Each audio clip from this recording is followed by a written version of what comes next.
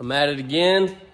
Another night on Uncle Sammer Jammer. Um, I've been at it for quite a bit now, but it was just um, a, a lot of cleaning up and a lot of other little things that I didn't really need to explain anyways, or that I've already explained. It was just me time lapsing, working, and getting dirty and eating grinder dust. So, um, but here is this.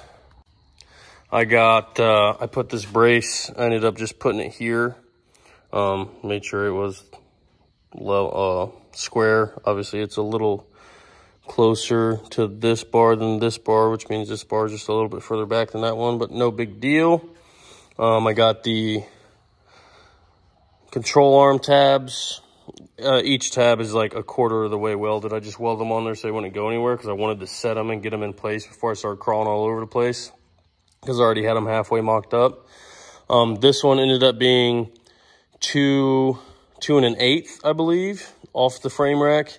And the backs both ended up being two and five eighths, or maybe this was two and a quarter, that was two and five eighths. So we got in between, you know, just under a half an inch above in the back there. And I talked to Brad last night and he said, make these, you can make them straight, but he said if you can put a little bit of backwards angle on them, that would be, he likes to do that. So the backs of the control arms are half an inch, just under half an inch higher than the fronts.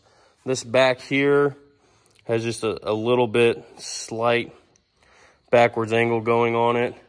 And now when I set my rack, um, I'm going to, I can measure this angle, you know, I can zero my angle finder here, measure this angle, and then set the height of the rack to make sure that my steering arm is at the same angle as this when I bolt it on. So that way it follows the same geometry as the control arm. Because if you don't follow the same geometry as a control arm with your steering rack, as the travel goes up and down and the arm goes like this, it actually gets shorter and longer. So if it doesn't follow the, the same geometry of the control arm, it's going to give you toe in or toe out at certain areas and make the car handle funny, which you don't want. Either handle funny or scrub, scrub the tires. So doing that, I kind of just scotch brighted all the bars to get all the surface rust off of them and make them all nice and pretty. Then I cut all that triangulation out that I said I was going to right there. And I cleaned the bars. I couldn't really get up under there to clean that one off, but I'll do that when it's on the lift, clean those.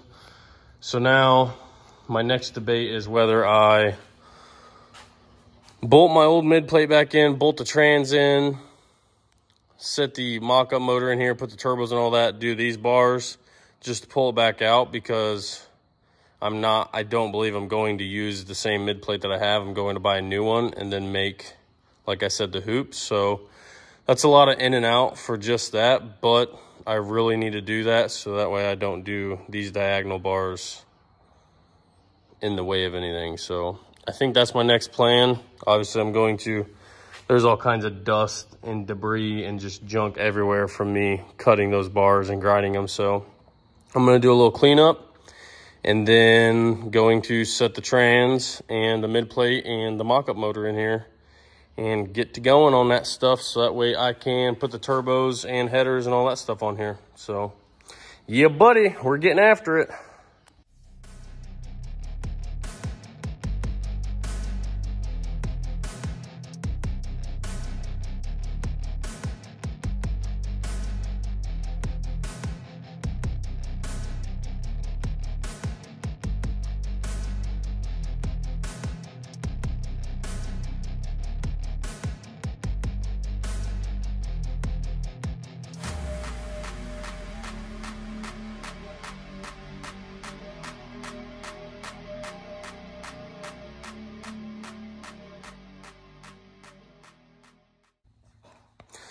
Shoo-wee. Now, we're looking fancy. As you guys just saw, I about killed myself trying to get that trans in there. Because Moo Moo was gone getting Arby's. I thought he was gone. But, like I said, I got those clean, all that stuff out of the way. Cleaned everything up and then made another mess, but it's okay. Just wiped it up. But got the trans in there, mid plate. Our mock-up block only has two good holes left, so that's why I got the strut, the, the, uh, force, um, reliever. What? The for, force reliever. Five, the force reliever 5000 right here with seven blocks of wood. But now I'm going to bolt these, these there headers on and them hot sides on. And we'll see if Gonna hold it? We'll see if this plastic block will hold up these turbos and headers and everything. So, Probably not. I mean, it's already pretty much junk. So, You should try to, you got your heads? well, I almost threw it away. Well, the heads aren't going to do anything. The heads will hold the, the headers on better. You actually put the heads on this thing. Well, you still can only use two bolts right here, which I think is going to be the weak point because I don't think these are going to be the weak point. I think the ones in the heads are gonna be weak, but you can those. We'll find out. Yeah, either way, I think you're screwed, but whatever. All right. Well, I'm going to put the hot sides and the turbos on and then we'll go from there.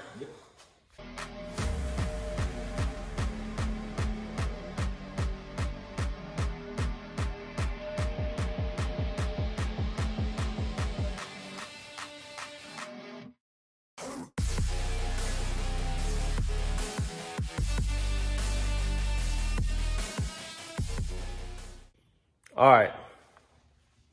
It's really looking like something now, even though it's not, because it's all going to come back apart. This is literally just for a reference.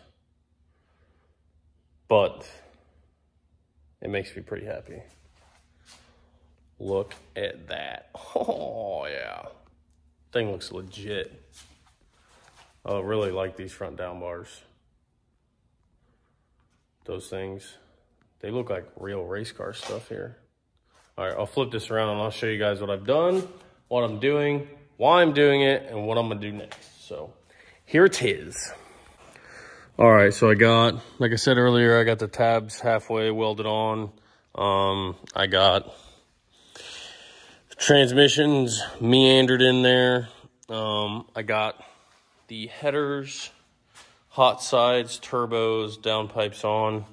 And this is the exact reason why I didn't just want to run a bar there because literally right in the freaking way.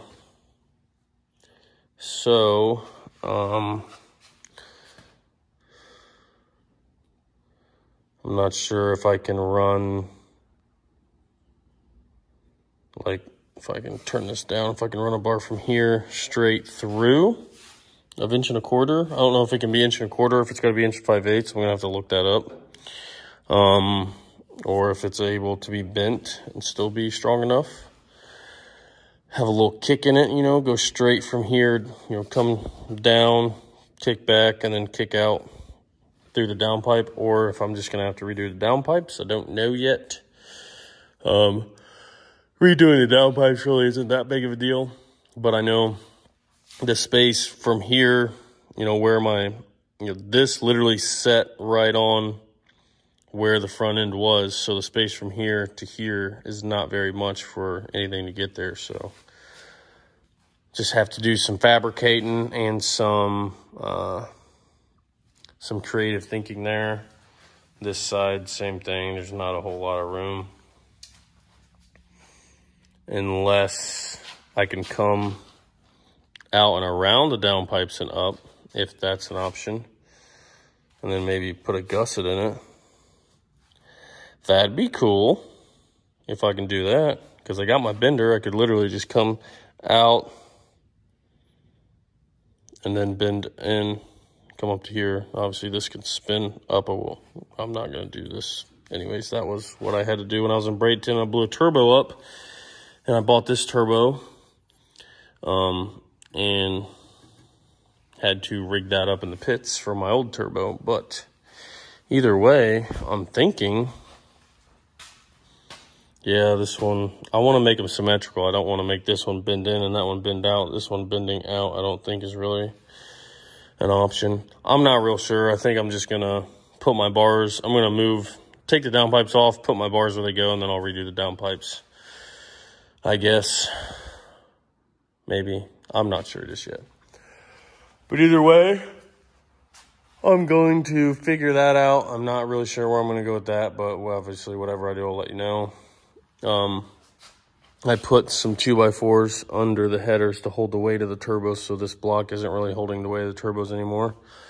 Um, but either way, pretty stinking awesome.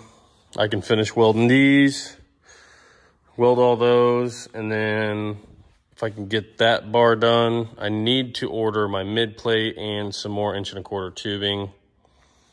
And I need to make brackets to mount my steering rack, which obviously I should be able to mount my steering rack right in line with this and not have any issues with either the balancer or the oil pan or anything like that. Um, I need to figure out what radiator I'm going to run. I'm going to, so I'm going to try to do some pretty trick stuff for the drag and drive stuff. I want to make, I want to get, um, I want to get quick connect fittings for my fuel tank, my fuel cell, my radiator, like the quick seal ones, like what uh, I showed on Brandon Dollar, that Brandon Dollar had. And I want to hook them to my my um, pump gas fuel cell and my radiator and all everything that can be taken out. I'm going to put on those quick connects and I'm going to take that out when I get to the track. Like literally put it on put it on mounts that have pull pins, pull it out, loop my coolant lines with the quick connects, and then um, take every ounce of weight out of this thing that I can and then go from there. So there's gonna have to be a lot of planning, pre-planning and all that stuff done. But like I said, I'm just trying to get the car rolling for now.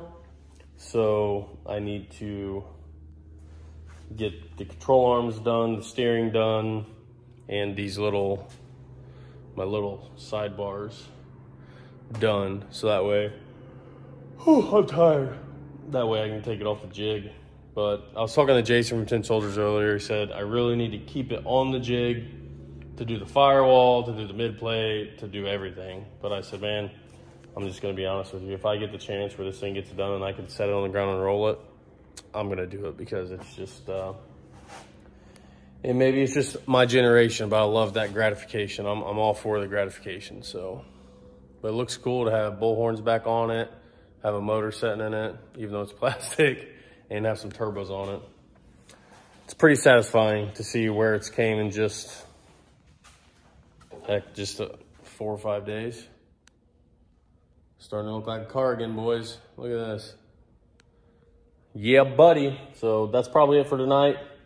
Um, this video obviously is not going to be as long as yesterday's video. Oh, but I told you I'm going to keep trying to do the daily upload thing. Even though, I mean, I know you guys might want more than what I'm giving you, but I'm just going to keep it real give you what I've done. I'm trying to do everything that I can, trying to get as much done as possible and still be a functioning human being. So come on with it.